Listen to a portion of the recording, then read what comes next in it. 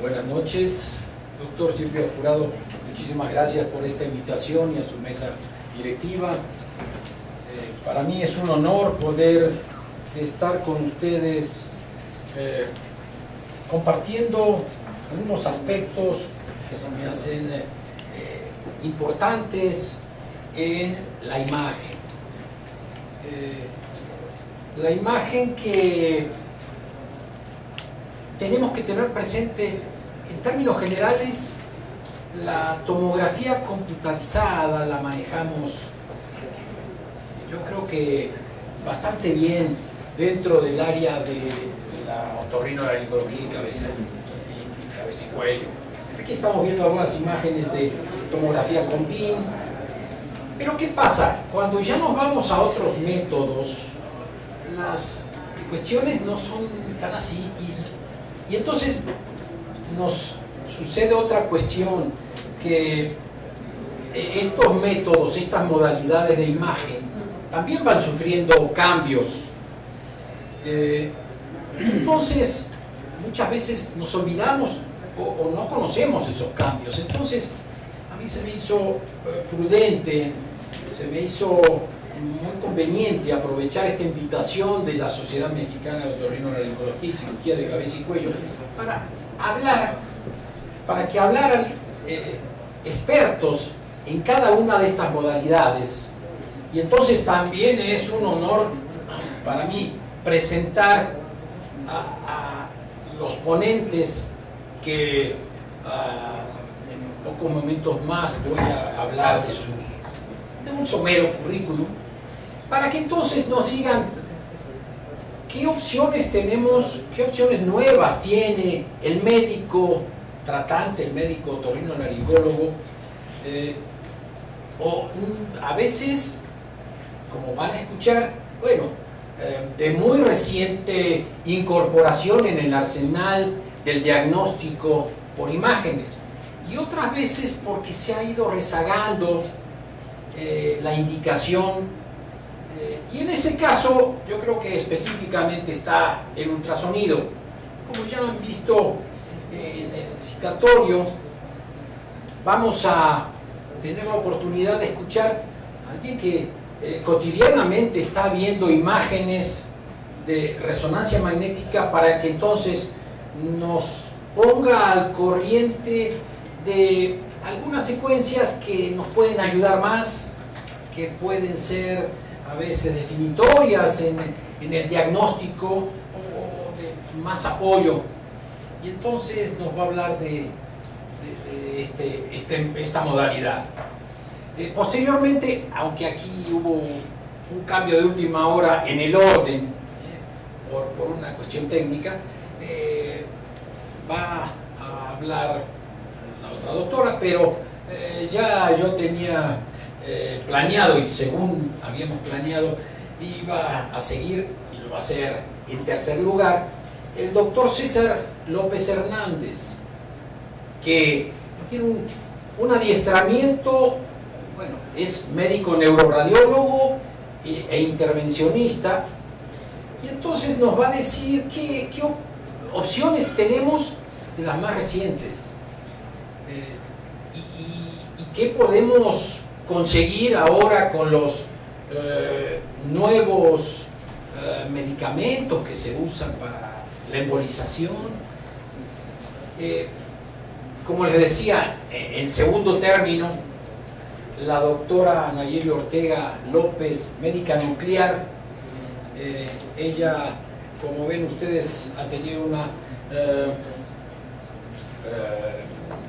adiestramiento en PET-CT, bueno, PET-CT que en un principio, como, como todo método eh, nuevo, tuvo un gran furor, luego tuvo un descenso, ¿no? Eh, hay algunas, algunas utilidades que si bien no son buenas, no son nuevas, perdón, sí son buenas, si, bien eh, no, son, no son nuevas, eh, no se les ha sacado el provecho necesario y entonces eh, la doctora que está cotidianamente, habitualmente eh, manejando esta modalidad de imagen, nos, lo presentará. Creo que hubo un error en, su presentación, no, no es del Instituto Nacional de Enfermedades Respiratorias. Y para terminar, el doctor Eduardo Sardá de la ciudad de Guadalajara nos va a presentar esto que la tendencia mundial nos habla que el ultrasonido debe ser uno de los estudios que el otorrino-laringólogo debe también manejar.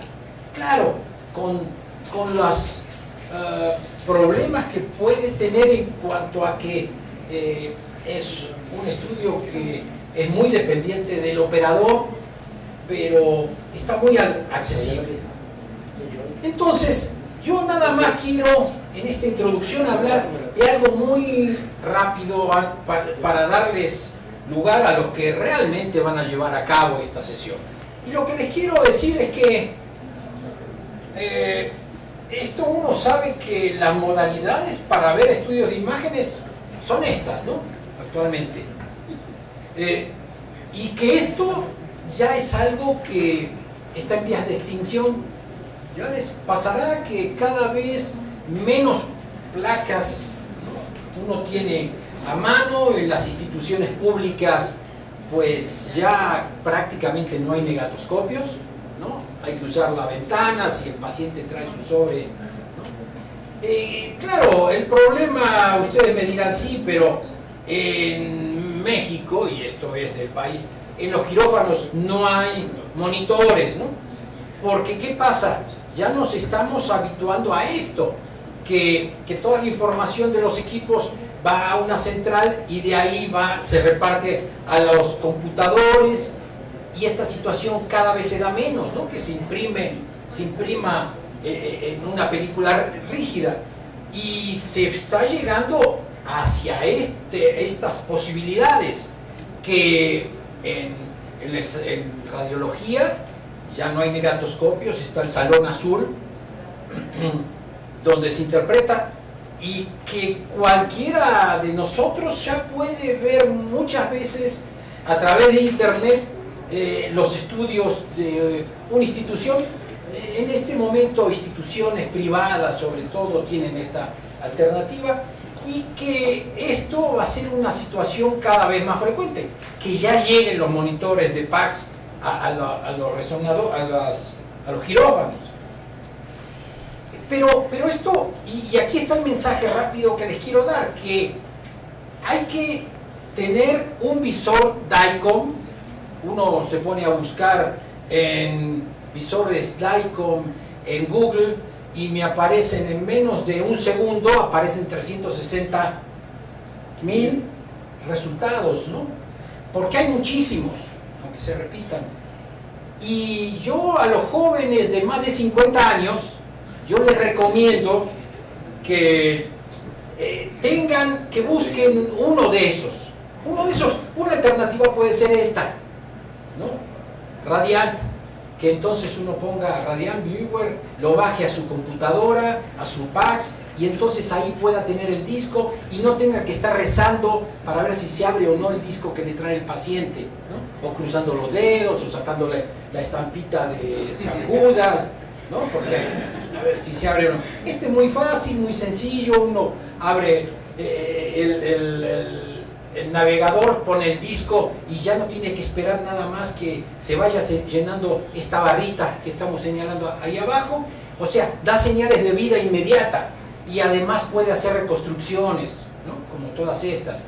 Claro, hay otras opciones, ONIS es otra, mm, comuníquense con su residente predilecto y él les va a decir cinco o seis más eh, de, estos, de estos visores. Y en el ambiente de Mac está Osilix de la Universidad de Ginebra y hay otros más también.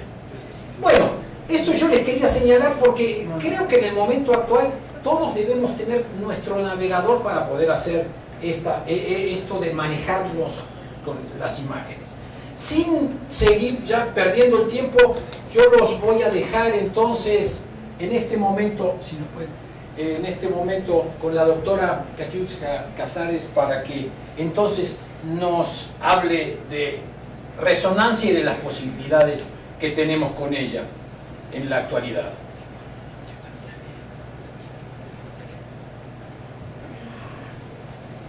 Bueno, muchas gracias al doctor Fernando Martín y al comité organizador por la invitación. Vamos a hablar rápidamente de las secuencias de resonancia magnética. Si bien la secuencia fiesta, que es por todos ustedes conocida, no es una de las más recientes, sí es una de las secuencias que salen de lo habitual del T1, del T2, de la densidad de protones y del FLER. Aunada a esta secuencia fiesta, vamos a hablar un poquito de la secuencia de difusión, entre ellas la HASTE, que es la que más utilidad va a tener para ustedes como torrinos, la secuencia de perfusión y la secuencia de espectroscopía.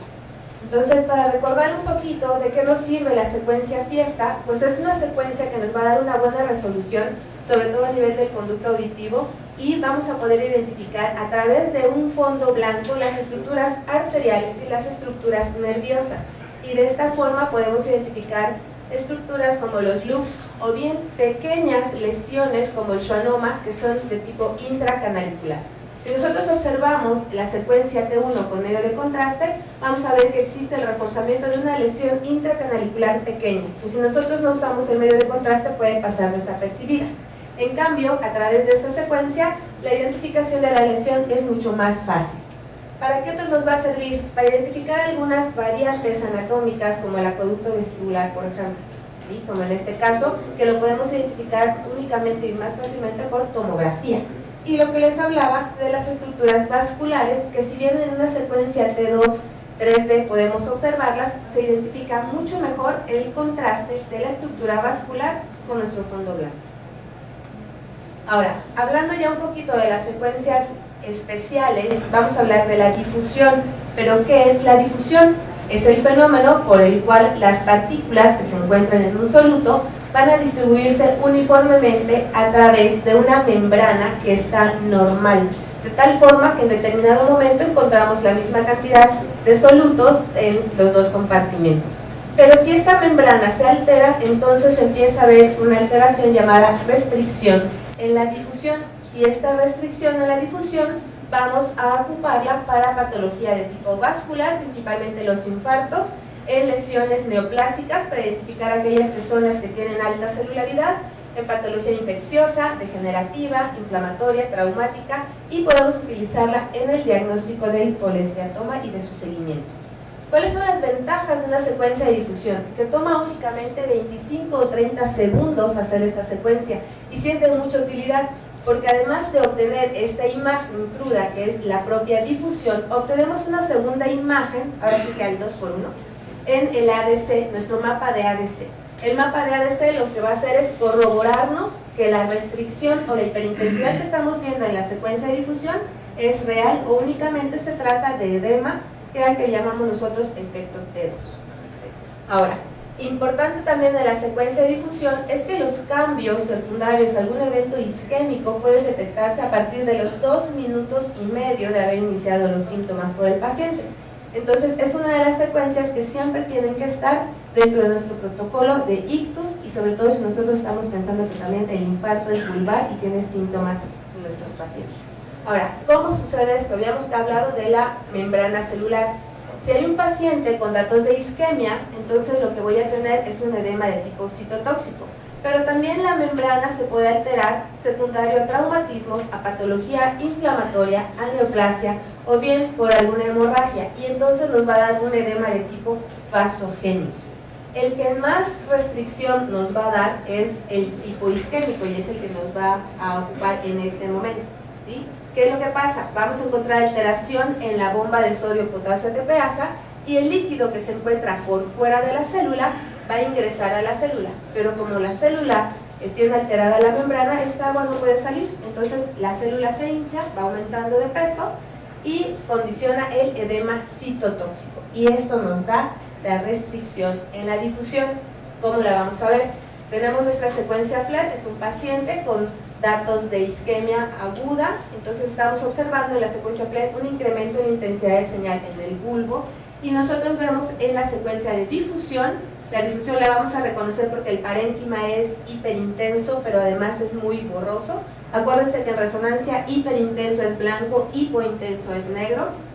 Y nosotros hacemos difusión y mapa de ADC. Entonces, lo que yo veo blanco en la secuencia de difusión, tengo que verlo negro en el ADC para que yo diga que existe una restricción real. Y en este caso estamos viendo la secuencia de difusión hiperintensa que nos corrobora la presencia del infarto en este paciente. Ahora, la difusión Haste. ¿sí? Este es un tipo de difusión que va a ser muy útil sobre todo en la búsqueda de pacientes con colesteatoma. ¿Por qué? Porque en la secuencia de difusión el colesteatoma lo vamos a ver hiperintenso, va a brillar. Y esto nos va a ayudar también a diferenciar el colesteatoma de algún tipo de tejido inflamatorio, ya sea postquirúrgico o bien por alguna infección o una enfermedad propia de la lesión. Y obviamente, pues nosotros vamos a poder identificar lesiones recidivantes o lesiones recurrentes que sean mayores a 2 milímetros.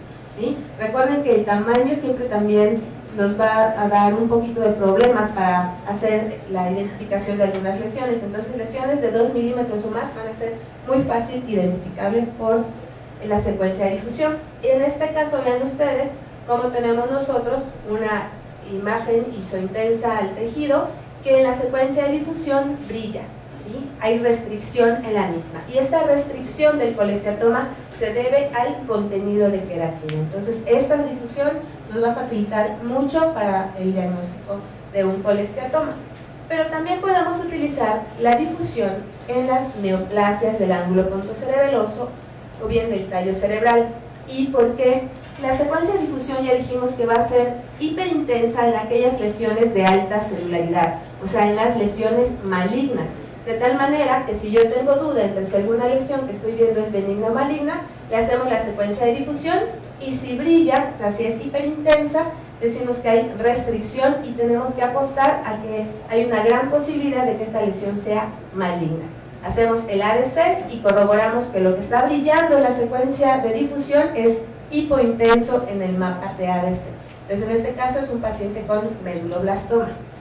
Pero ¿qué pasa con el quiste epidermoide? No es una lesión maligna y sin embargo está restringiendo. Esta es una de las pocas excepciones que van a restringir en cuestiones de quistes o bien de tumores en la secuencia de difusión y esta restricción la hace debido a la cantidad de colesterina que tiene este quiste.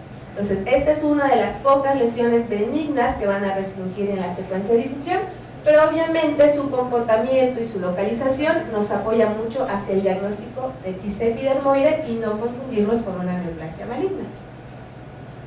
Ahora, otra de las secuencias especiales que podemos utilizar también es la secuencia de perfusión. ¿Qué es la perfusión? Es, la, es el paso del medio de contraste, la cantidad de sangre que va a estar en un determinado, una determinada cantidad de parénquima cerebral en determinado momento. Y con esta perfusión tenemos tres valores a medir.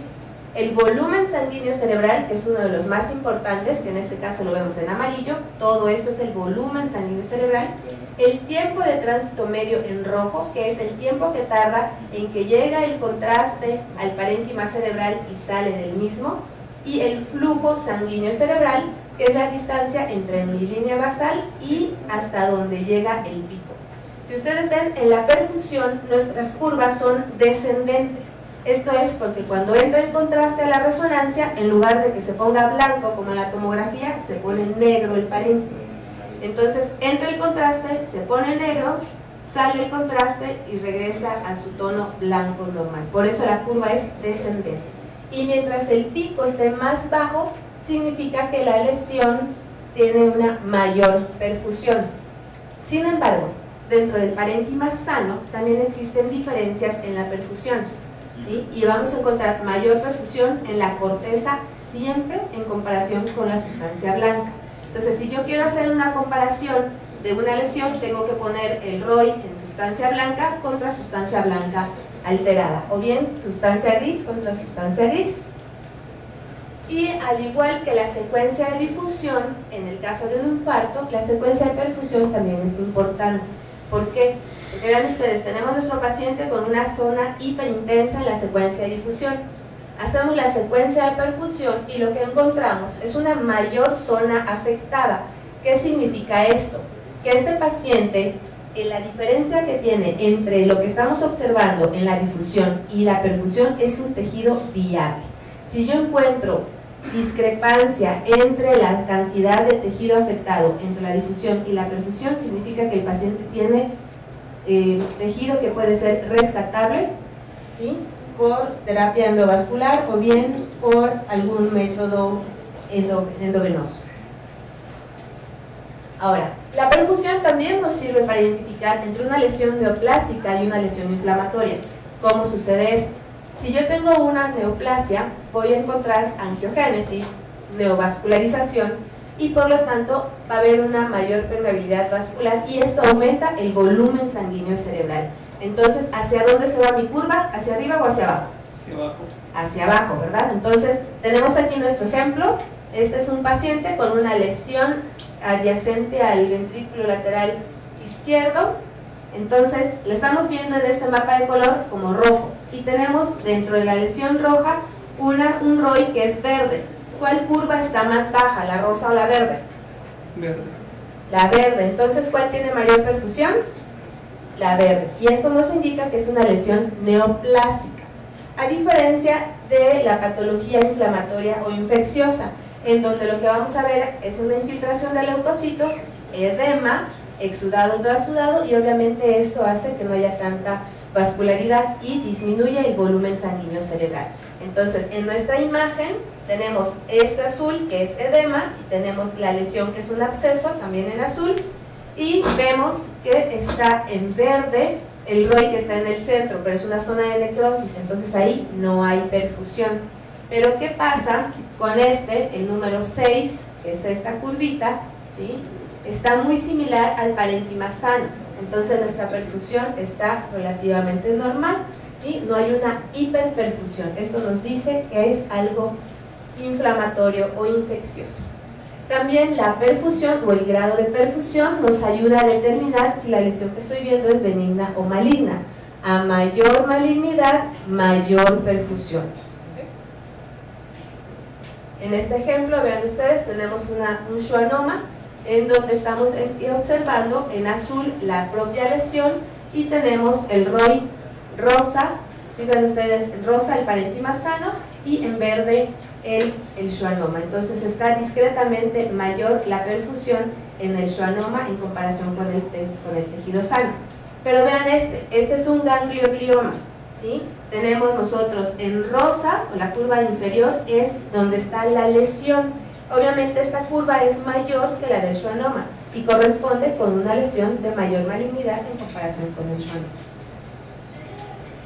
En el caso de patología del cuello, tanto la difusión como la perfusión son útiles. Entonces, vean ustedes aquí, tenemos un paciente con un adenoma pleomorfo de la parótida, en donde hay restricción de la lesión y lo que estoy viendo es un aumento en la perfusión. Entonces, ¿esto es neoplásico o es inflamatorio de acuerdo a lo observado en la perfusión?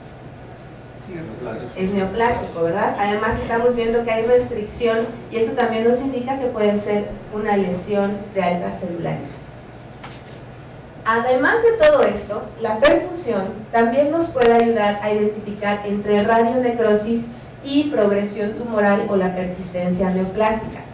En resonancia magnética, cuando nosotros hacemos, ponemos medio de contraste, las lesiones por radionecrosis pueden reforzar de la misma forma que lo hace un tumor. Entonces, si no hacemos la perfusión, podemos decir, uy, no le hicieron nada, ahí está el tumor, incluso está creciendo.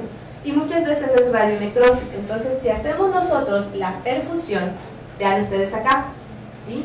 hay una menor colorimetría, o sea, no hay perfusión. ¿Qué es esto? ¿Radionecrosis o tumor? Radionecrosis. Radionecrosis. En cambio, veamos el ejemplo de abajo. Tenemos también un reforzamiento heterogéneo, no hay tanto edema, y vean la perfusión, cómo está aumentada, disminuida. Radionecrosis o tumor. Perfecto. Y ya para terminar, la espectroscopía, que es otra de las secuencias eh, funcionales que se manejan en resonancia, que este es un método no invasivo que va a utilizar los diferentes metabolitos cerebrales. Dentro de estos metabolitos, los más importantes y que son los que se tienen que aprender son el N-acetilaspartato, que es nuestro pico más alto, y lo tenemos en el número 2. Estas líneas de abajo, estos números se llaman partes por millón. Entonces, N-acetilaspartato en el número 2 y es nuestro marcador de viabilidad neuronal. Cualquier alteración que tengamos nosotros en la neurona, el N-acetilaspartato va a disminuir, sobre todo en los tumores. Entonces, tumores más malignos, el N-acetilaspartato va a estar en el piso. Tumores de baja benignidad, o sea, de baja malignidad, el N-acetilaspartato está disminuido, pero no en forma tan importante, perdón. La creatina en amarillo la tenemos cercano al 3 junto con la colina. ¿sí? Entonces, creatina es nuestro marcador energético, pero es el metabolito más estable en toda la espectroscopía.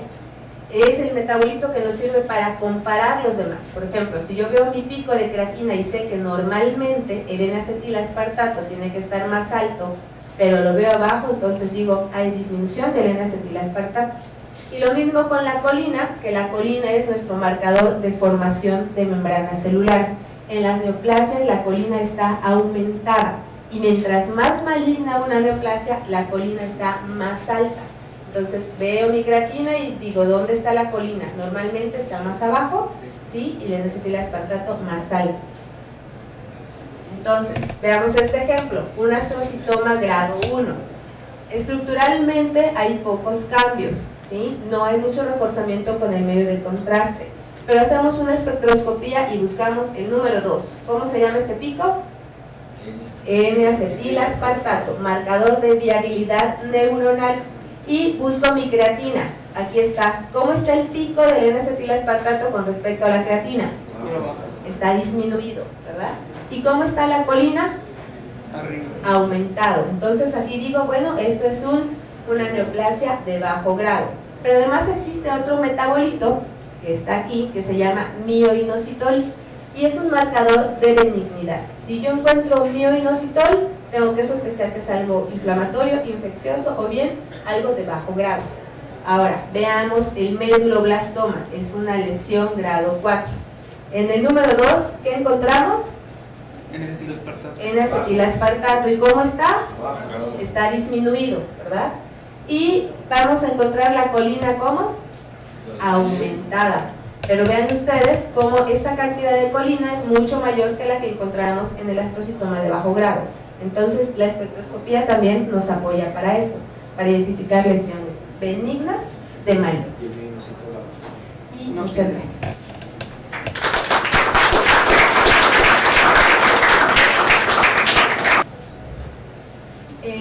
Bueno, finalmente yo creo que ya la mayoría estamos familiarizados con lo que implica esta metodología. El PET-CT es la conjunción de dos estudios de imagen, lo que es eh, un estudio de medicina nuclear, eh, lo que corresponde a la tomografía por emisión de positrones, aunada a una tomografía computada de rayos X. Eh, la utilidad que tiene esta metodología es dar información tanto anatómica como metabólica, ¿Y cuál es la principal ventaja? Es que nos permite evaluar diferentes procesos bioquímicos conjuntamente con los cambios morfológicos que se van a presentar en los pacientes. Y esto eh, sobre todo porque nos permite hacer análisis tanto cuantitativos como semicuantitativos que nos van a ayudar posteriormente para evaluar las respuestas al tratamiento en el paciente. Eh, Actualmente, pues bueno, ya se tienen bien eh, indicadas lo que son las, la utilidad del PET-CT, lo que implica neoplasias de cabeza y cuello, sobre todo, bueno, en aquellos pacientes que debutan con adenopatías cervicales, con primarios desconocidos, el PET-CT es muy útil para localizar dónde se está desarrollando esta neoplasia. Así también nos ayuda a etapificar mejor a los pacientes, eh, un rubro en el cual se está dando mucho énfasis actualmente es si va a tener o no el PET-CT un apoyo o un valor en lo que es la planeación a la radioterapia, yo lo veremos más adelante, monitorizar al paciente con los tratamientos que se le ofrecen en estos casos, detectar asimismo también eh, tumores sincrónicos, metacrónicos y sobre todo recidivas tempranas y evaluar el pronóstico de sobrevida. En lo que comprende la detección de tumores primarios desconocidos, pues eh, generalmente los protocolos ya se tienen establecidos, ¿no? eh, finalmente se tienen que hacer endoscopías, la toma de la biopsia del ganglio, dependiendo del estirpe que nos esté arrojando, se seguirá la gama de estudios que se van a utilizar.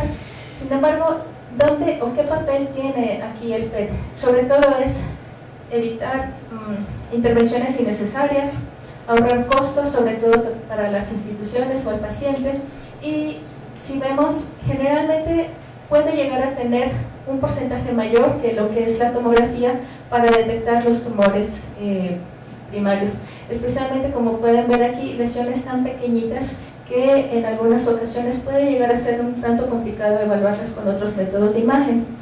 Y sobre todo porque bueno, nos van a ayudar a evaluar sitios donde a veces no se tenía pues, conocimiento de que se estaba desarrollando ahí alguna otra lesión.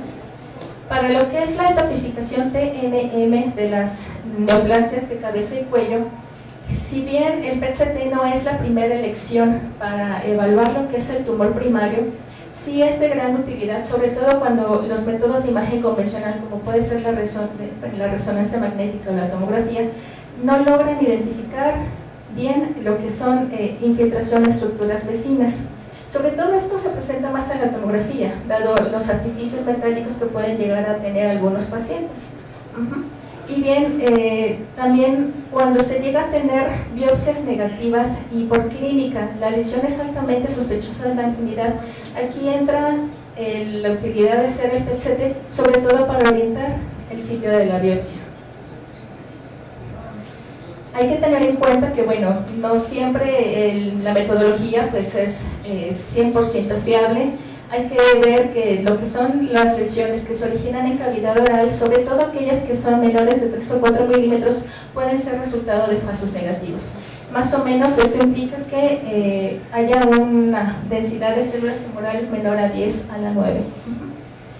Ahora, dentro de las principales mm, utilidades que se, le está dando al PET-CT actualmente es evaluar la lesión primaria antes de tratamiento, especialmente por lo que les comentaba, ¿no? En algunas ocasiones, pues simplemente por los artificios que vamos a ver en la tomografía, es muy difícil localizar y sobre todo medir efectivamente el volumen real de la lesión y esto se, tiene, o se puede trasladar a lo que es la evaluación de los volúmenes tumorales gruesos para radioterapia.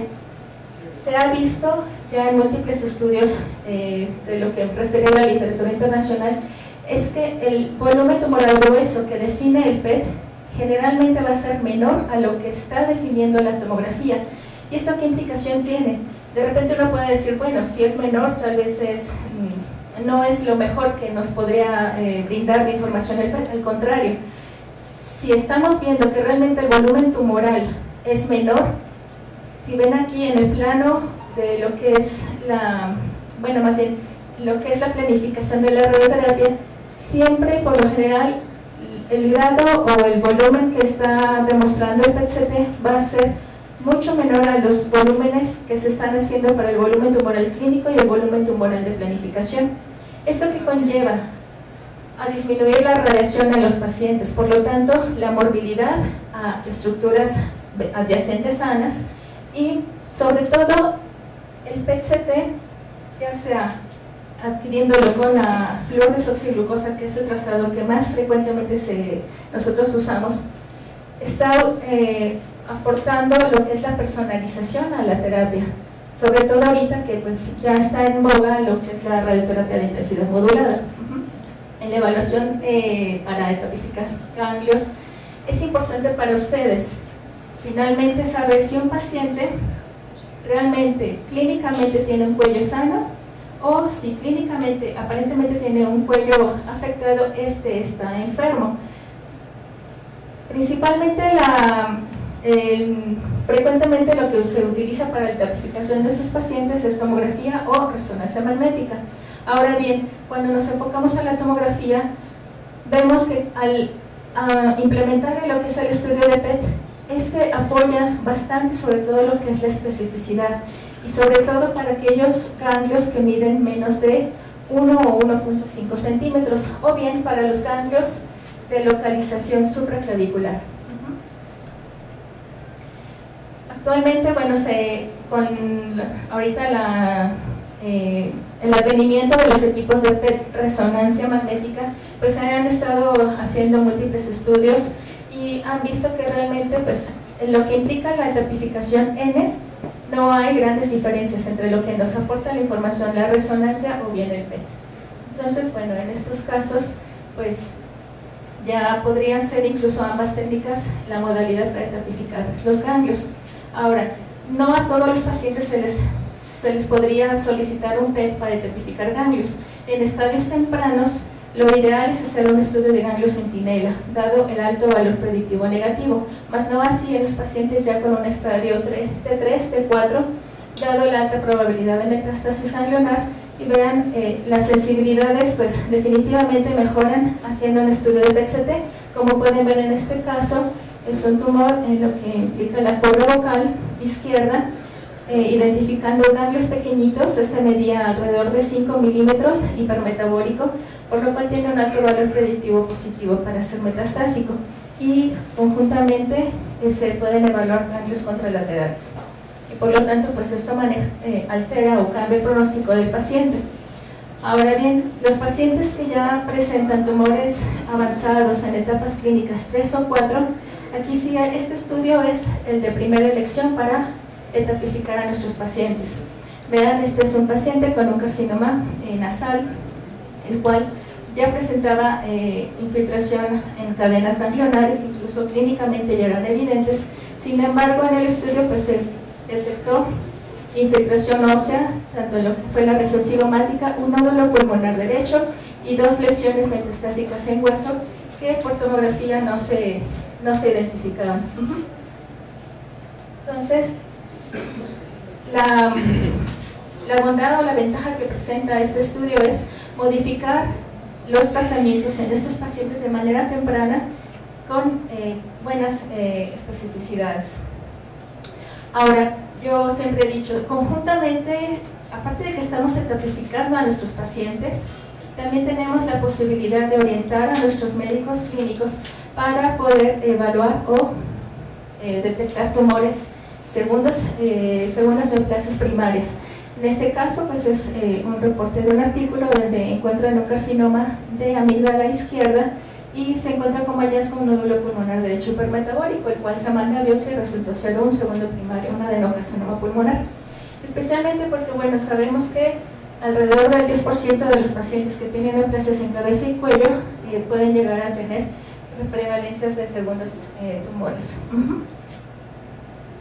Ahora, dentro de la ventaja de hacer un estudio basal en un paciente sin tratamiento, nosotros vamos a tener el comportamiento metabólico inicial, ¿no? De cómo se está comportando esta lesión. Ahora, yo creo que el mayor valor que puede tener el PET en este tipo de patologías es evaluar la respuesta al tratamiento, sobre todo por la capacidad que tiene de poder localizar o detectar enfermedad local, tanto local como a nivel ganglionar, o bien en las metástasis. Y esto porque, bueno, los cambios eh, funcionales o metabólicos se van a dar más rápido que lo que nosotros podríamos esperar en los cambios morfológicos. Incluso, actualmente pues se hacen muchos estudios para evaluar si esta disminución en la captación de la glucosa tiene una implicación en eh, evaluar eh, lo que es el, el pronóstico de respuesta, vaya la redundancia, pero sobre todo tener un valor pronóstico de control local y sobrevida en nuestros pacientes. Si bien eh, ya se, por las guías de la NSCN y también por las guías europeas eh, de oncología y otorrino, ya eh, tienen contemplado realizar el PET-CT para evaluar lo que es tanto tratamiento para quimioterapia o radioterapia, sí se sugiere ampliamente que este estudio se realice después de 10 a 12 semanas con el mínimo de lapso, para poder evaluar estos cambios. Porque si no, de otra forma, sobre todo si el paciente recibió radioterapia, recordemos que pues, se ocasiona mm, muchos cambios inflamatorios, los cuales incluso nos pueden llegar a dar falsos negativos o falsos positivos, para poder decir si efectivamente el tumor ah, este, está teniendo la respuesta que se espera. Ahora, ¿qué implica o qué aportación nos da este estudio? el hecho de tener un estudio negativo, sobre todo en pacientes que persisten con ganglios o con un cuello clínicamente positivo, nos va o orienta sobre todo al clínico a dejarlo en observación y así se evitan lo que es la morbilidad por cirugías innecesarias. Esto ha estado gracias a que el estudio llega a tener un valor predictivo negativo bastante alto, por lo cual un PET negativo después de haber tenido un PET positivo prácticamente nos está asegurando que el paciente va a tener un buen control. Ahora, dentro del seguimiento que se le puede dar al paciente, eh, el PET-CT también es una buena mm, técnica de imagen para poder evaluar recidivas tempranas. Digo, finalmente en estas, en estas situaciones a veces los cambios postquirúrgicos, los cambios post-tratamiento pueden llegar a dificultar y delimitar de manera mm, exquisita ¿no? lo que es de dónde a dónde va el tumor. Al hacer el estudio de PET, esto incluso también puede volver a apoyar para lo que es la planificación de eh, volúmenes para la radioterapia. Y bueno, algo que sí me gustaría tomar un poquito más de tiempo es la oportunidad de mm, mencionarles lo que se está ahorita trabajando en el PCT de manera sobre todo investigación.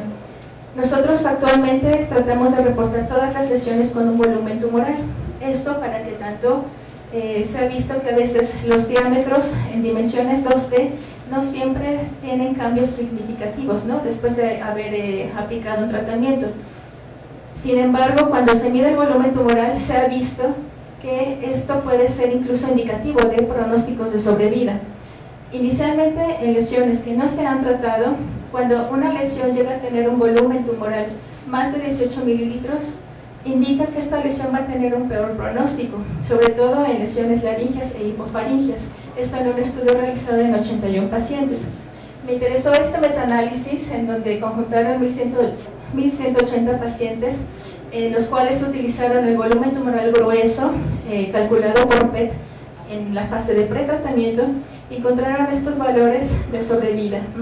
Prácticamente lesiones mm, que medían menos de 10 centímetros cúbicos, antes del inicio de la radioterapia encontraron que los pacientes pueden llegar a tener incluso hasta 6.5 años de sobrevida y con periodos eh, libres de enfermedad bastante largos. Entonces, actualmente, eh, digamos que nuestro caballito de batalla para hacer el estudio de PET es la fluorodesoxiglucosa.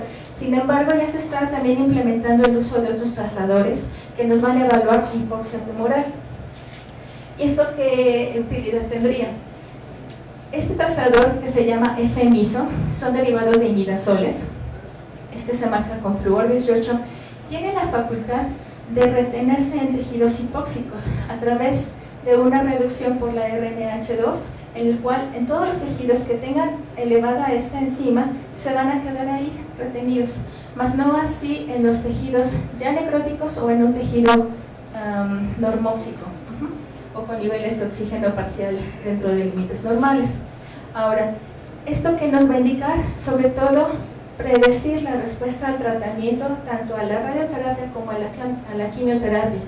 Como en este caso, este paciente con este eh, tumor eh, maxilofacial, se le realiza el estudio con FMISO, prácticamente ven ustedes el grado de intensidad que está teniendo el radiotrazador del FDG, más no así la intensidad del FMISO es mucho menor.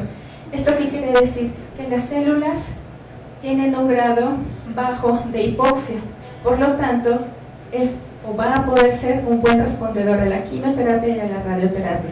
Si tal vez la relación de captación del FMISO hubiese sido casi igual de intensa al FDG, entonces este paciente se cambia el manejo terapéutico desde antes de empezar el tratamiento porque se le tendría que dar o un manejo más agresivo con la radioterapia o bien hacer alternativas para reoxigenar ese tumor para que cuando se le dé la quimio o la radio tenga mejores tasas de respuesta.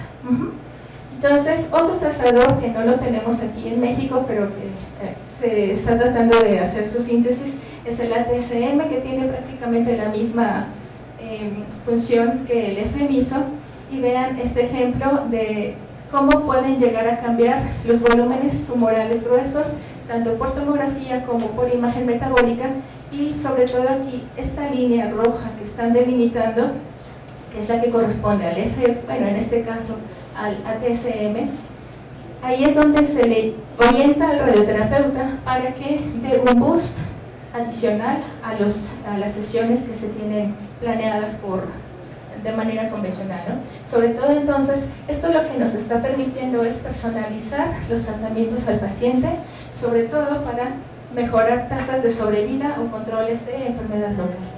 Muchas gracias por su atención.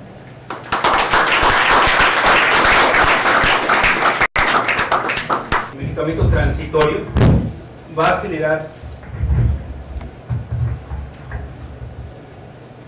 va a generar proceso inflamatorio y nueva vascularización, de tal manera que ustedes ingresan después de 24 horas, 2, 3, 4, 5 días, van a encontrar esto más vascularizado y el tipo de sangrado va a ser mayor que si no hubiese nebulizado al paciente. Actualmente existen otros medicamentos como son las emboesferas, los resortes metálicos. Les pongo aquí un ejemplo. Eh, este tipo de material nos ofrece mucha seguridad. Si los utilizamos, ustedes tienen la seguridad de poder embolizar, de poder resecar quirúrgicamente ese tumor desde el primer día y hasta tres o cuatro semanas sin ningún riesgo de que haya neovascularización. Vean esta lesión tumoral bastante extensa de toda la cavidad nasal que protruye hacia la, hacia la región oral. Eh, en la primera imagen de angiografía podemos ver la extensión, se muy bien la cavidad oral y la extensión hacia, la, hacia caudal. En una vista rostral también. Las hemosferas las podemos ir aplicando poco a poco y vean cómo va disminuyendo el, el tamaño del tumor de hecho, en una vista corporal vemos que casi se resuelve. Finalmente ponemos algunos resortes metálicos, los cuales se representan muy bien como esta línea de los resortes apenas visibles que han resuelto completamente el tumor. A partir de esto, ustedes, como les comento, tienen cuatro semanas para poder intervenir al, paciente sin ningún riesgo. Otro tipo de tumores bastante conocidos son los, los globos. Sabemos que existen algunas reglas. Todos los globos que deben embolizarse son aquellos que miden más de 3 centímetros. Los que miden menos de esta talla no está indicado embolizarlos porque las arterias nutricias, ramas de las, de las parafaringias, de la faringe ascendente, perdón, pueden ser muy cortas. Y nosotros embolizamos un tumor de esta talla, de 3 centímetros, podemos tener más complicaciones que beneficios. Podemos, eh, de entrada, las arterias son muy delgadas y las abordamos, podemos romperlas, condicionar una ruptura en el mejor de los casos. En el peor de las situaciones puede haber reflujo. Estas eh, con el material embolizante a través de la arteria carótida y condicionarnos alguna eventualidad del sistema nervioso central. Pero no solamente los nasoangiofibromas, los glomos embolizan, cualquier lesión, cualquier tumoración vascularizada es susceptible de, tratamiento de embolización. Por ejemplo, este caso que les muestro es una dama que tiene una lesión vascular, una, una tumoración en el mentón del lado derecho, muy vascularizada, y el paciente no, no tenía, tenía alguna discrasia vascular que contraindicaba el ir a y condicionar algún tipo de hemorragia. Como puede ver, la tomografía es una lesión aparentemente sólida, pero en la fase contrastada tiene algunas imágenes hiperdensas que hablan de su vascularidad. En una angiografía, eh, esta línea hiperdensa es el microcatéter que mide aproximadamente 1.2 milímetros y vamos tan distal como es posible en una rama de la arteria facial y podemos ver la vasculatura que solamente es dependiente de una sola rama. El uso de embosferas o partículas de alcohol polivinílico nos permite eh, disminuir la perfusión de esa lesión en más de un 95%, disminuyendo con mucho y beneficiando al médico la, la resección por la menor pérdida de sangre posible.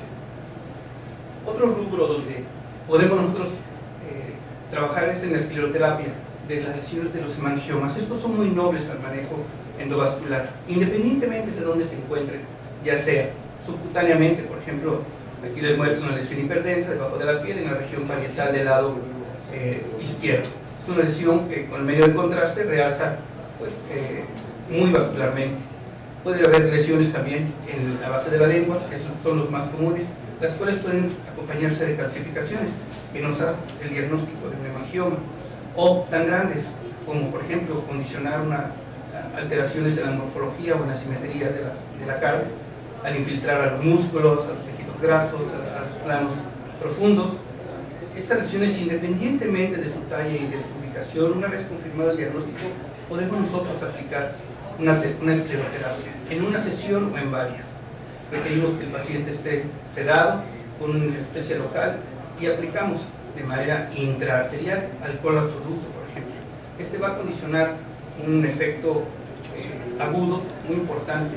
Les pongo un ejemplo, esta es una niña de 5 años, 24 horas después de la escleroterapia, podemos ver perfectamente el aumento de volumen por el edema condicionado por la aplicación del medicamento. Este es colocado aquí, en este punto donde se ve parcialmente morado, está haciendo el efecto, y el tejido alrededor eh, isquémico.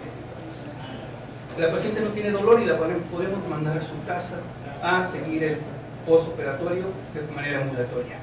Cinco días después nos mandan la primera imagen donde la lesión, el hemangioma se han cruzado y empieza a pedicularse. Aún persiste el edema y empieza a formarse una úlcera en el sitio donde el hemangioma va a caer.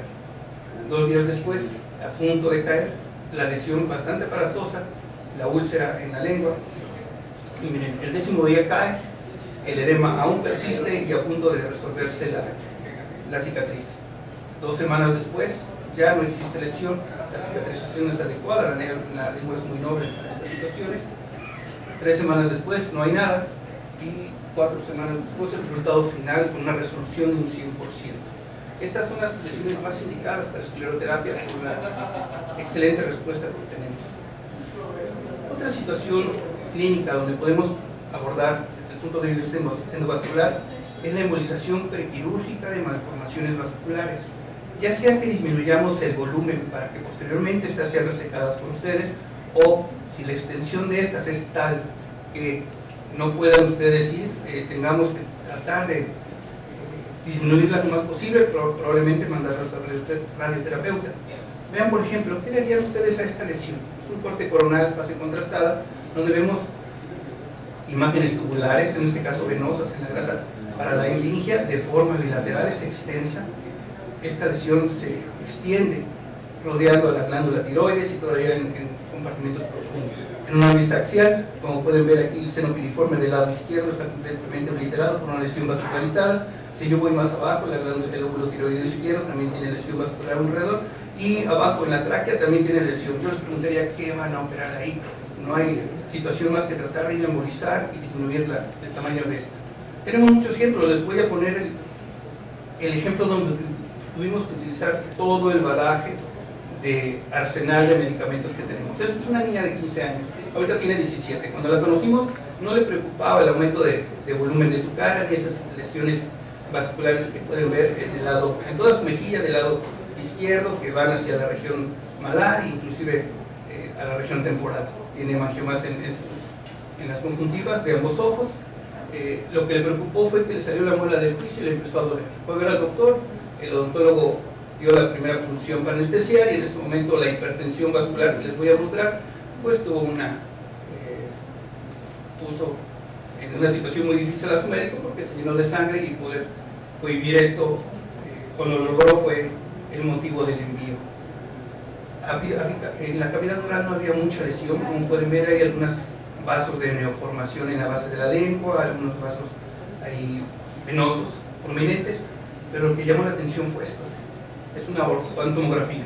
Quisiera mostrarles la arteria alveolar, cómo se mete, vean la talla que tiene, es muy, muy pequeña en relación con la arteria la carótida externa o las ramas temporal, la, facial, e inclusive vean la talla que tiene en el lado normal, vean la contralateral, está completamente perdida la anatomía, hay una lesión lítica que está erosionando completamente el ángulo de la mandíbula y la rama horizontal. Esta lesión eh, llamaba la atención, ¿por qué sangró? Porque miren, todas las raíces de los dientes están sumergidas en el lecho de la lesión, es una lesión vascular, ahorita se los voy a mostrar, esta es parte del tercer molar está completamente metido. Entonces, no era una lesión sencilla. La complejidad de la misma, vean los diferentes cortes, eh, por medio de contraste veo venas muy dilatadas que condicionan el aumento del volumen de toda la cara del lado izquierdo. En un corte a nivel submandibular veo que hay una lesión vascularizada, aparentemente de ramas de la arteria lingual, también otras lesiones vascularizadas de una, de una rama de la arteria facial completamente dilatada, también con conexión hacia, hacia el nido este anterior, a nivel de, la, de los espacios paraferningios, también unas venas completamente dilatadas con otras estructuras vasculares y los músculos también infiltrados. es una lesión muy compleja. Tuvimos que ir a hacer una resonancia magnética. Les puedo mostrar aquí con hiperintensidad la lesión lítica en el ángulo de la mandíbula. Ven el tercer molar completamente eh, involucrado. contactando con la lesión vascular. Eh, aquí está el hueso remodelado,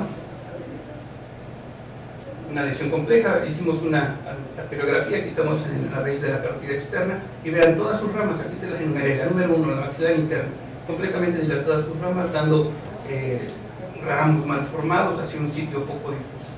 Eh, el número dos, la arteria eh, temporal, la, perdón, la auricular, con ramas tortuosas pequeñas, también nutriendo otro pequeño nido. La arteria facial, como ya lo habíamos visto, también a nivel mandibular, con otro nido, y la lingual finalmente la más importante porque da el drenaje venoso en la lesión del ángulo de la mandíbula. Tuvimos que ir a abordar cada una de ellas. Este es el disparo en el lado contralateral. Aquí es una vista frontal del lado derecho. También había ramas de la arteria facial que atravesaban la, la porción central y se iba a la región submandibular del lado derecho, perdón, del lado izquierdo. ¿Qué hicimos? Pues tuvimos que abordar todas y cada una de ellas. Aquí estamos dándole la raíz de la arteria y todo se llena. Tenemos que abordar una por una.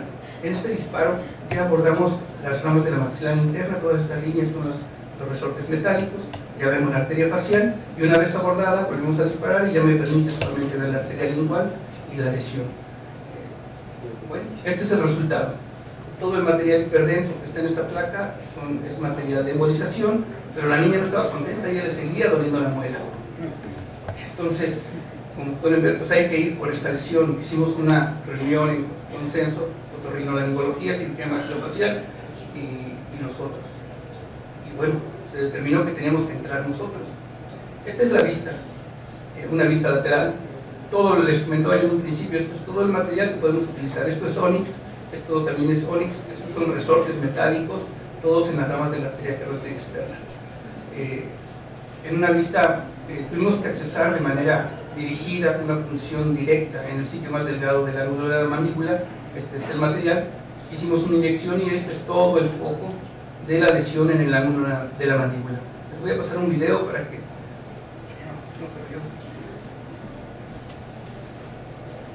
Ah, Vean cómo se va a llenar toda esta lesión. Es una lesión gigante de todo el ángulo de la mandíbula que le da inestabilidad. Eh, ubicados ahí tuvimos que empezar a rellenar con resortes metálicos. Aquí no los ven, ven en la siguiente imagen, ahí va. Se empieza a rellenar por resortes, onyx, hasta que completamente llenamos y le permitimos al médico eh, cubrir el tercer molar y ya lo sacó. El resultado fue un sangrado de 20 o 30 mililitros. Asunto resuelto. Entonces aquí utilizamos todo, nos tardamos un poquito, pero bueno, ahí está la niña contenta, ya sin muela. Tratamiento urgente de lesiones vasculares. A nadie de nosotros ustedes les gustaría estar haciendo una endoscopia nasal y de repente empezar a ver sangrado profuso, ¿verdad? Creo que es una catástrofe. Bueno, ahí, lo tienen, es un caso. ¿Qué es lo que provocó este médico con ese sangrado? ¿Algún diagnóstico? ¿Qué pasó? ¿Sí se alcanza a ver el sangrado? ¿Qué le hizo? ¿Qué le pasó? A ver, camentó. la que tiene en su ojo condicionó esto, una fístula carótido cavernosa. Es todo un apartado que debemos de revisar. Si lo vemos rápido, el médico radiólogo, desde el punto de vista diagnóstico, con ultrasonido, con tomografía o resonancia, puede hacer el diagnóstico de una fístula carótido cavernosa. Y desde el punto de vista endovascular, podemos hacerlo para confirmar el diagnóstico y para establecer un tratamiento definitivo. Es una fístula carótido cavernosa, una lesión de la arteria carótida, la cual pues, puede ser iatrogénica, traumática, pero se va a conectar con el seno cavernoso. ¿Qué pasa? El seno cavernoso se arterializa y esa presión aumentada la va a transmitir a las, venas, primero intraoculares, y después el problema es que lo va a hacer a las venas intracraneales. Y es el problema. Si nosotros determinamos que ese paciente tiene una hipertensión endovenosa intracraneal, es un signo de entrar con urgencia, porque si eso se rompe y es una hemorragia intraparenquimatosa, pues es un signo agregar más grave, gravedad a la situación. Esta es la situación, aquí está el seno cavernoso, la arteria carótida, si se comunican de manera patológica, la hipertensión referida al sistema intraarterial también lo va a hacer a las venas que están en el interior del endocráneo. Entonces, eh, tenemos que, sería sencillo que todos pudiéramos ver el signo de, de un soplo pulsátil, lo viéramos, bueno, yo creo que ahí tienen el ojo, es un signo clínico evidente, poco común. Son una fístula carotero cavernosa. Pero como esto es lo menos frecuente que van a encontrar, por favor no le ponerle un estetoscopio al ojo del paciente. Y van a escuchar este, este paciente real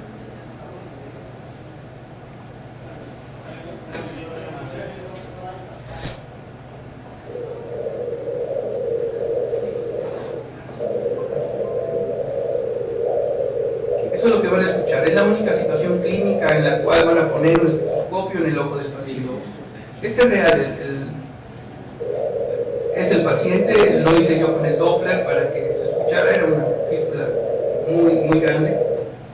Y bueno, ¿qué es lo que hacemos nosotros? Endovascularmente entramos y pues, tenemos pues, varias opciones de tratamiento, ya sea que entremos desde el lado vascular o desde el lado venoso, perdón, arterial o venoso, podemos poner un balón, podemos poner resortes, podemos poner una prótesis, hay varias opciones.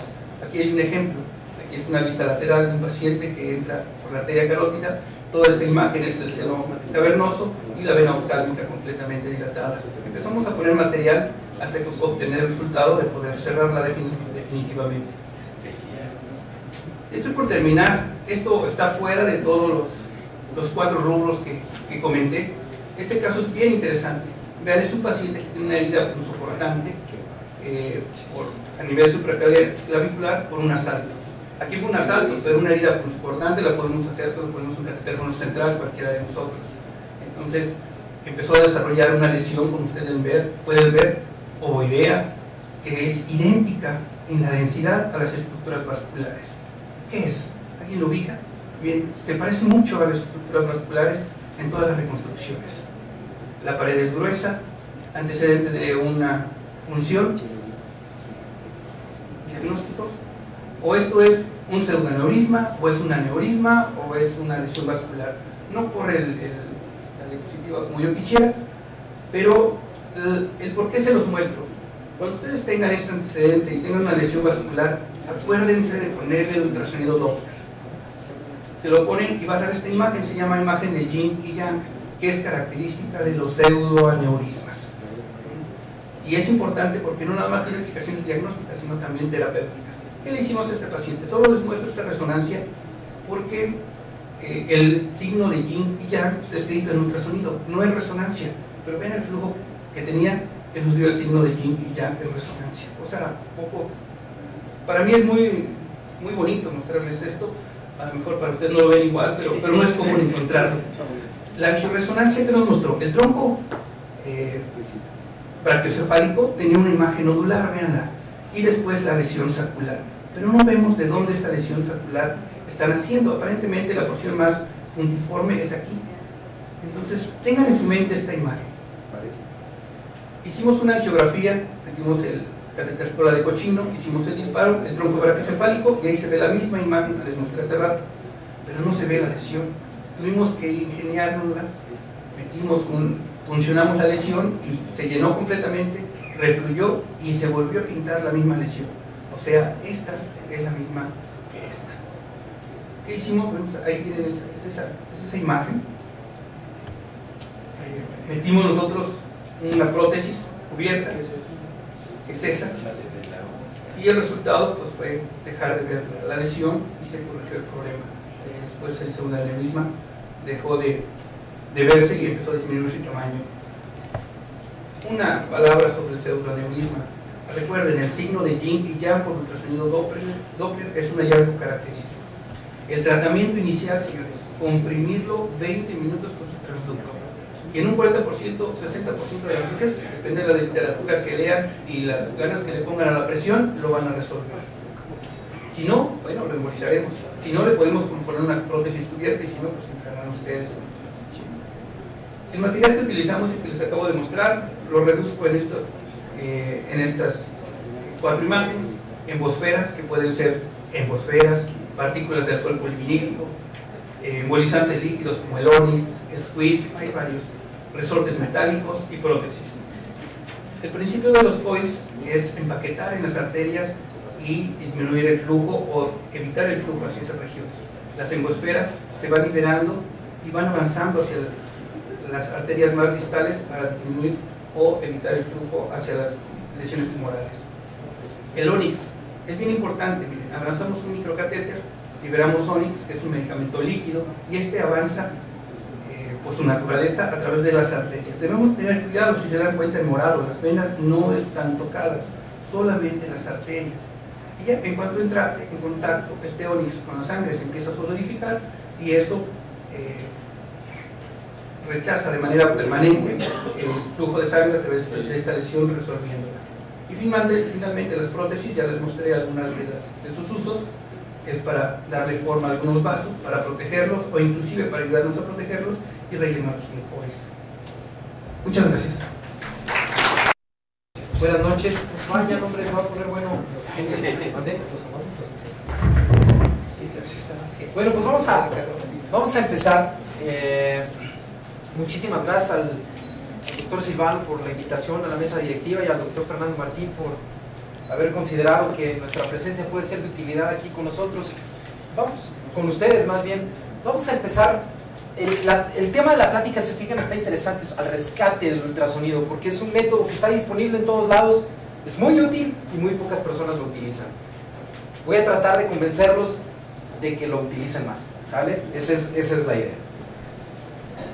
Eh, para empezar, es un método que es accesible, económico, seguro, versátil, indoloro, puede ser portátil, tiene una gran versatilidad, eh, tiene una, podemos tener un muy buen análisis morfológico de las lesiones y la patología, eh, nos muestra también la vascularidad de las lesiones y podemos hacer estudios vasculares, velocidades y resistencias del flujo, nos da la elasticidad o la, o la dureza de los tejidos que vamos a explorar y incluso podemos tener imágenes en tercera dimensión. Dentro de las debilidades eh, de cuando solicitamos un ultrasonido, en el caso que vamos a estar hablando, es que de repente encontramos que hay muchos equipos que ya están viejitos en funciones, que no tienen los transductores, el software o, las funciones que quisiéramos tener de repente. Eh, se requiere también que tengamos un transductor de alta frecuencia, porque normalmente toda la exploración del cuello es con transductor de alta frecuencia, necesitamos eh, ver muy bien de cerca. Entre, entre más alta la frecuencia, mejor visualización cercana y menos profundidad pero en el cuello habitualmente utilizamos de alta frecuencia. Eh, en cabeza y cuello, el aire y el hueso son importantes limitantes, por eso en oído, en senos paranasales y en macizo facial, eh, en general la tomografía sigue siendo en muchos de los casos la reina, porque no tiene problema ni con el hueso ni con el aire. Pero eh, para todos los demás casos, ahorita vamos a ver, por ejemplo, en, en la patología frecuente que son en general eh, los ganglios y la tiroides, el ultrasonido es una maravilla. Si a ustedes les llega un paciente con masa en cuello, ¿sí? eh, la gran mayoría de los casos, probablemente más del 80%, eh, cercano al 90%, es patología o de glándula tiroides o de, o, o de ganglios linfáticos. Entonces, eso se ve extraordinariamente bien con el ultrasonido. Entonces, como método de primera elección, y muchas veces único y resolutivo, es el ultrasonido. ¿sí? Entonces, es un excelente método, no hay radiación ionizante, es barato, todos lados hay. Una de las limitantes es que es operador dependiente. En la tiroides, la evaluación eh, es muy útil en la evaluación del nódulo tiroideo. Ese es todo un capítulo, perderíamos mucho tiempo si nos ponemos a hablar del T-RATS aquí, pero eh, la evaluación del nódulo tiroideo se hace con ultrasonido, no con tomografía, no con resonancia. La evaluación del nódulo tiroideo es con ultrasonido. Y hay una caracterización que se llama T-RATS, que eso nos sirve para valorar si es necesaria una punción biopsia, si no es necesaria, y, o incluso si el paciente pasa a cirugía. Eh, es muy útil para la evaluación de los procesos inflamatorios de la tiroides y nos sirve muy bien como guía para la realización de una biopsia por aspiración eh, con aguja fina. De lo que enfrentamos todos los días es este tipo de lesiones. Eh, hablando del nódulo tiroideo encontramos lesiones múltiples, ¿no?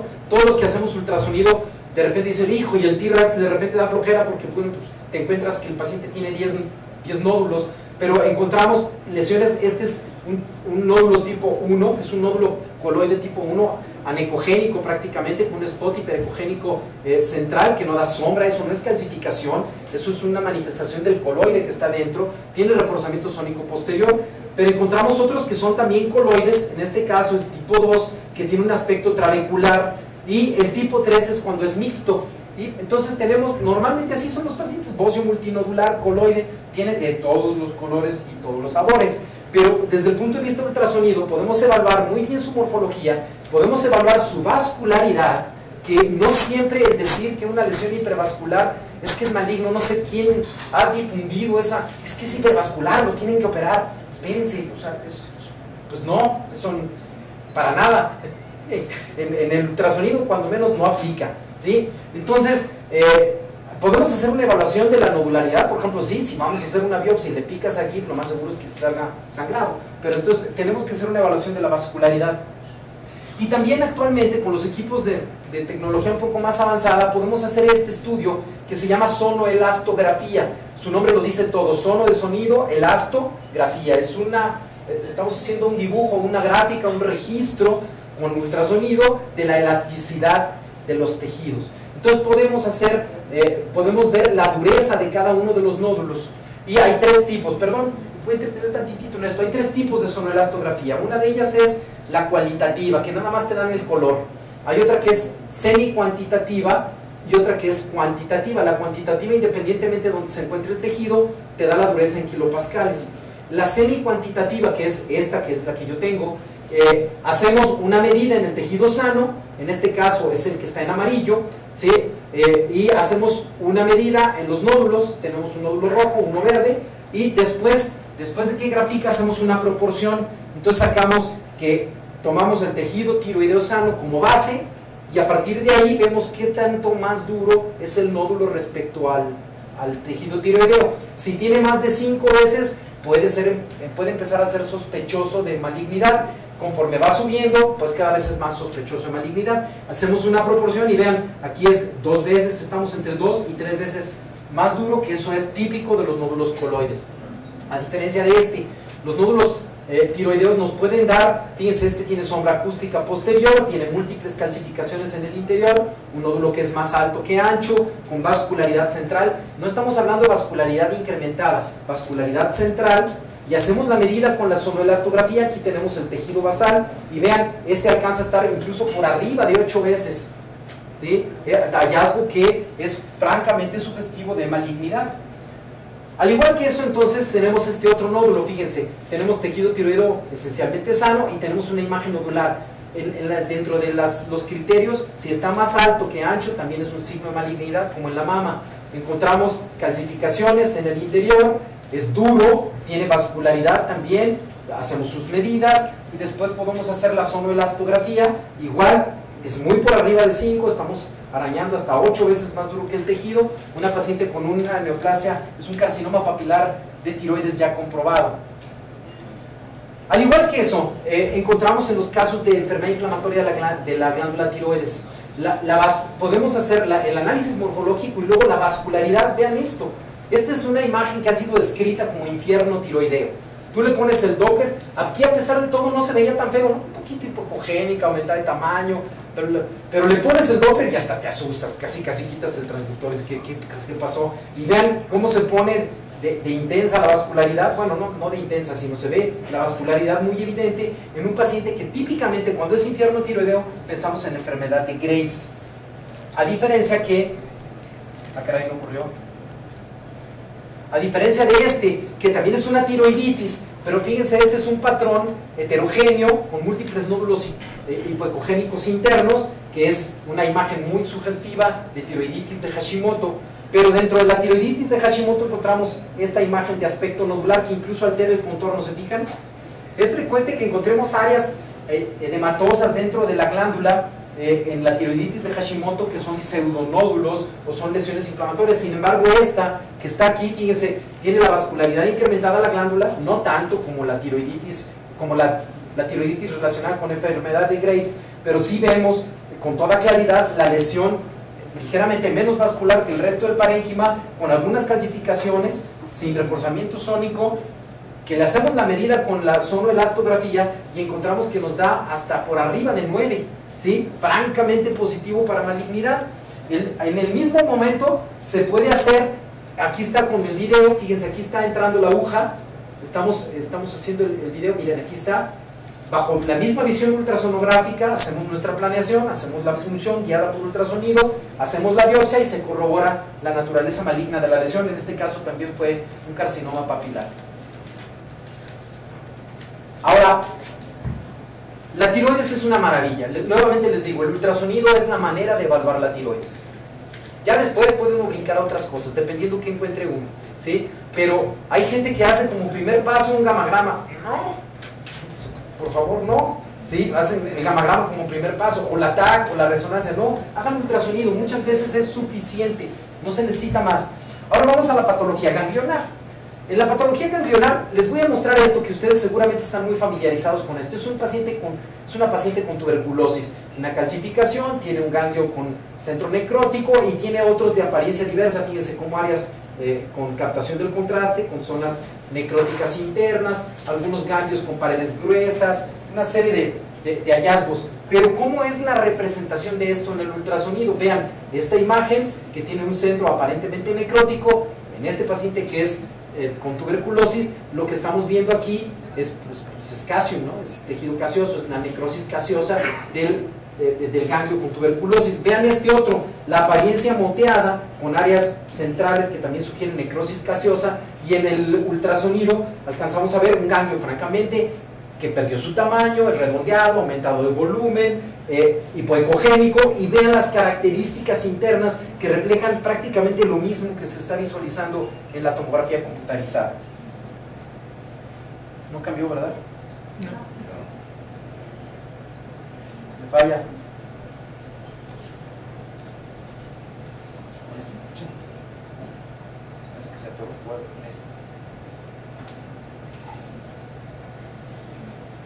Ahí está, gracias. Entonces, eh, o también este que podemos ver tres ganglios a, seguir, aquí está, cambiamos la orientación del transductor y vemos los tres ganglios con las características internas. También podemos ver las calcificaciones que son típicas de la tuberculosis.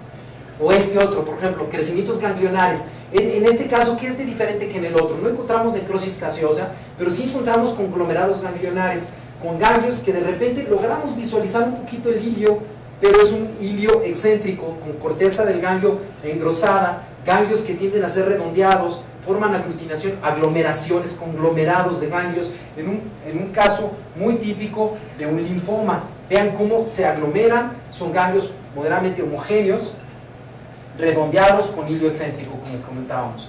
Y por ejemplo este otro caso, perdón que se los presente en resonancia magnética, pero aquí tenemos una, un gran aumento de volumen, también de tipo ganglionar, en una paciente que está embarazada, le querían hacer tomografía, pero oye, espérate, ¿cómo que tomografía? Le hacemos la resonancia magnética, le complementamos con ultrasonido, en donde logramos ver este, eh, este pues, gran crecimiento ganglionar, que en este caso también era una tuberculosis, en una mujer embarazada que, eh, pues bueno, no era candidata a radiación ionizante.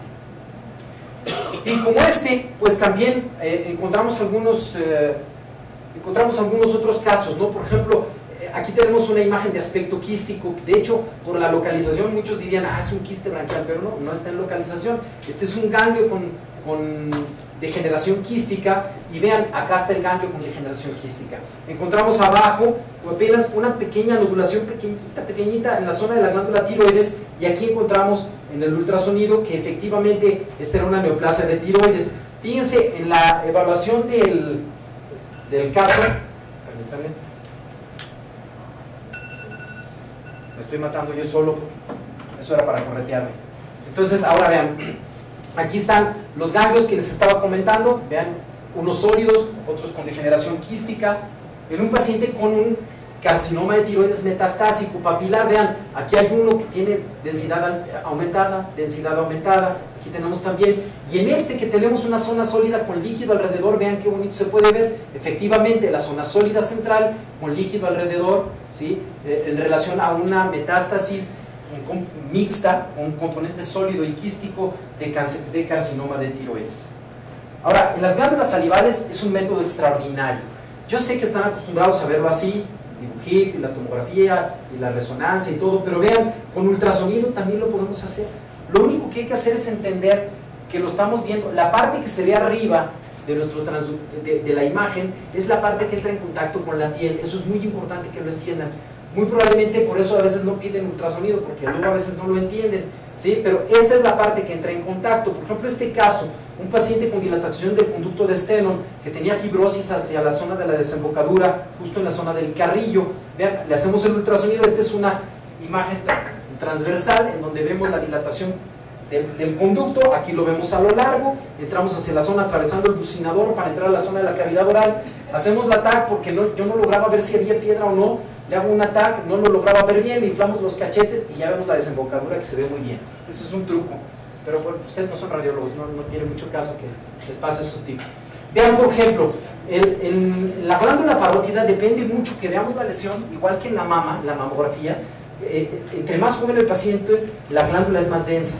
Entonces, a veces es más difícil ver los nódulos, pero en este caso, un adenoma pleomorfo, vean qué bonito en ultrasonido, cómo lo podemos ver con toda claridad, reforzamiento sónico posterior, aquí está el nódulo, y tenemos la ventaja también de poder hacer sonelastografía. Para mi sorpresa, fíjense, ya lo corroboré en dos o tres artículos que también están empezando a desarrollar el estudio de las lesiones de glándulas salivales, en donde encontramos que los adenomas pleomorfos son de menor dureza que el mismo parénquima parotidio. ¿sí? Vean en este caso, la, la parótida es la amarilla y el, y el, verde es la lesión y vean proporcionalmente, entonces estamos diciendo que el, nódulo o el tumor en este caso, un adenoma pleomorfo, es más blando que la glándula como tal. Podemos ver los abscesos parotidios con toda claridad, en este caso era un absceso ganglionar, un ganglio dentro de la parótida eh, que, que, nos, que se muestra con toda claridad. Y pues bueno, la glándula submaxilar, ¿sí? recuerden, está francamente superficial, todo lo que corresponde con el espacio submaxilar se comunica un lado con el otro en forma ininterrumpida, ahí no hay fase que interrumpa. Y recuerden, nuestro límite entre la región intraoral y extraoral es el músculo miloyoide, ¿sí? Eso lo podemos ver muy bien con ultrasonido. Aquí la volteé para fines de que se pueda ver igual. Por ejemplo, miren, la que sigue, Aquí tenemos el, el acá están los digástricos, el genioideo, el geniogloso, aquí está digástricos, miloyoideo, los geni, eh, el genioideo, ¿sí? y acá hacia acá el geniogloso. Entonces, lo único que hacemos, ponemos el transductor así. Aquí para que se quedara igual que estos, pues lo volteé, pero normalmente lo vemos de cabeza, pero eso es. Y por ejemplo, se puede explorar hasta la lengua completa. Vean, aquí está la lengua en su totalidad, hacia acá está la apófisis geni, y de aquí hacia atrás Vean cómo se va el músculo genioideo y el geniogloso se abre en forma de abanico. Podemos ver incluso la arteria lingual. Más adelante, por ejemplo, aquí, vean un caso donde el ultrasonido fue la clave. Aquí, ¿ustedes ven alguna lesión? Me decían que tenía una lesión en el piso de la boca y, y pues yo sufriendo, lo único que veía era un poquitito de asimetría en la región del espacio sublingual, un poco más hiperintenso un lado que el otro, con aumento de volumen, le hacemos el ultrasonido y miren, aquí está, es un adenoma pleomorfo de una glándula sublingual. Este ya se los puse de cabeza, así es como lo vemos normalmente. Esta sería la piel del mentón, y hacia acá estarían los digástricos. Es que el, transductor lo pongo así y se ve de cabeza. ¿Sí? Eso, es, eso es importante porque luego si no se descontrolarían y dirían, híjole, ¿y esto cómo se ve? Ah, este es otro caso de piso de boca.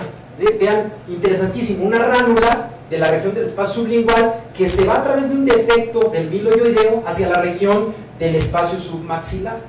¿Sí? Entonces vean, aquí está la pequeña comunicación y en el ultrasonido no hay duda. Aquí está el digástrico, aquí está la región del espacio sublingual y vemos cómo a través de, una, de un pequeño pedículo se extiende hacia la región extraoral. Entonces inicia en la región intraoral, en el espacio sublingual, se sale a través del defecto y termina siendo una gran cavidad quística predominantemente extraoral, en caso de una ránula extendida.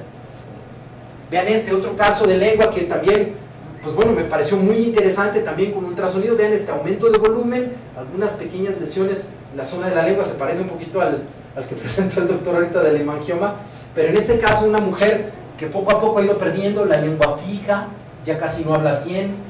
Le hacemos el estudio y vean con el ultrasonido lo que encontramos es una, una lengua francamente aumentada de tamaño en forma difusa, sin lesión focal, ¿sí? en un caso de una amiloidosis. Y bueno, la glándula submaxilar, igual que la parótida, puede tener sus adenomas pleomorfos. Este es claramente un adenoma pleomorfo. Aquí ayudaría mucho, fíjense que en esta zona, eh, perdón, estoy extendiendo un poquito más, pero en esta zona es muy frecuente que uno diga, híjole, ¿es submaxilar? ¿Es ganglio? ¿Está dentro? ¿Está afuera? ¿Qué está pasando? Entonces, la primera gran ventaja es que nos da el detalle anatómico a dónde pertenece. En este caso, una lesión de la glándula submaxilar. Vean, esta es la, la, la glándula contralateral y aquí encontramos el adenoma. Podemos ver su vascularidad, hacer sonoelastro, lo mismo que hemos estado haciendo con las otras. Y vean, esta es una aplicación clarísima. Estas tomografías son de otro lugar, que, no, es, mi gabinete, pero le habían quitado supuestamente un ganglio. El doctor decía, se lo quité todo. Reporta el patólogo carcinoma adenoideo quístico. Imagínense el susto. ¿sí? Y entonces hacen el estudio para ver si había recidiva. Aquí se ven cambios quirúrgicos en la piel, se ve el tejido celular subcutáneo afectado. Le hacemos el ultrasonido y claramente encontramos en la glándula submaxilar que hay eh, recidiva del, del, tumor, los bordes no estaban libres. O este otro caso donde pareciera que fuera una lesión quística eh, que está en contacto con la glándula submaxilar, hacemos el ultrasonido y es un tumor complejo, es mixto, una, una zona quística y otra zona sólida. En este caso eh, fue un... También un adenoido quístico, sí, gracias. Si vean, dentro de las personas que hacen imagen de cabeza y cuello se habrán dado cuenta que aquí hay un poquito de irregularidad en el hueso, ya ahí hablaba un poquito de la malignidad, aunque predominantemente dominaba la, el área quística. En la litiasis del conducto de Wharton es una maravilla, se puede ver. El paciente viene con cialodenitis, buscas eso, bueno, le, haces el seguimiento del conducto y ves la piedra. Aquí está la piedra en la foto, y si queríamos corroborar, le hacemos un cortecito con tomografía y ahí está la piedrita, justo en la, porción terminal. Se puede hacer, lo único que hay que hacer es buscarlo y que se comunique con su radiólogo, se lo pida, que se los haga. ¿sí? En este caso, por ejemplo, nuevamente, creo que ese es, este es el último caso que les quería mostrar. Esta es la glándula submaxilar izquierda normal. En este lado encontramos algunos ductos dilatados. Vean cómo la vascularidad está eh, pareja en los dos lados, pero aquí hay unos, unos que no son vasos, que son conductos dilatados, hacemos el seguimiento del conducto, en este caso el, del conducto de Barton, y vean, no hay piedra en este, de hecho al final termina como en punta, encontrando que hay engrosamiento de la pared final del conducto, en un caso de una cialodoquitis, le hicimos un complemento con una secuencia de cialoresonancia y vean cómo tiene tendencia a terminar en punta en la zona donde tiene el proceso inflamatorio de la pared del conducto de Barton. Y bueno, pues para terminar me gustaría decirles que piensen cada vez que tengan un paciente con masa en cuello, que ese es el diagnóstico. O sea, es algo que ustedes tocan y, por la cavidad oral y lo demás no ven otra cosa. El, primer, el método de, inicial de estudio puede ser un ultrasonido, es una maravilla. Con sonoelastro, con doppler color, con análisis morfológico, podemos ver ganglios, podemos ver tiroides, es seguro, es inofensivo, no hay que sedar al paciente, no duele, es portátil, tiene un montón de ventajas. Piensen en el ultrasonido, a veces no lo pedimos porque no lo entendemos bien, pero conforme lo vayan solicitando, cada vez les va siendo más útil. Pues eh, con esta imagen me despido, muchísimas gracias.